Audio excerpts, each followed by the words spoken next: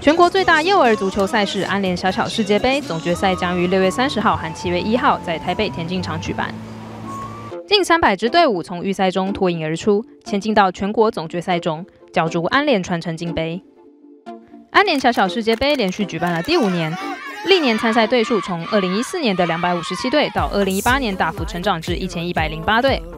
更超过万名球员参赛，规模再创新高。本届共有幼儿组 U 六、国小组 U 八、U 十、U 十二以及国中组 U 十五等五个组别，让我们的家长替小孩子找到一个舞动的空间，让小孩子能够借着足球玩转足球，激发自己的兴趣。从原来的一一两百队，一直到现在的一一零八，我想正如数据所说的，一路我们会发下去。为推动基层足球国际化，本届总决赛特别增加国际组，邀请香港、日侨学校、欧洲学校与 U 十二冠军队伍进行交流。除此之外，将会送六名 U 十五小将前往曼谷以及慕尼黑参加足球训练营。中华男足培训队新生代国手吴彦树也现身分享参加海外训练营的经验。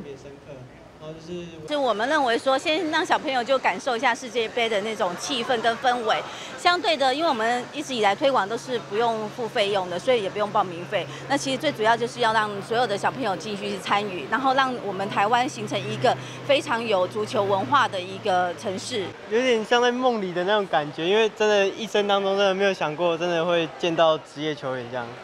然后就是。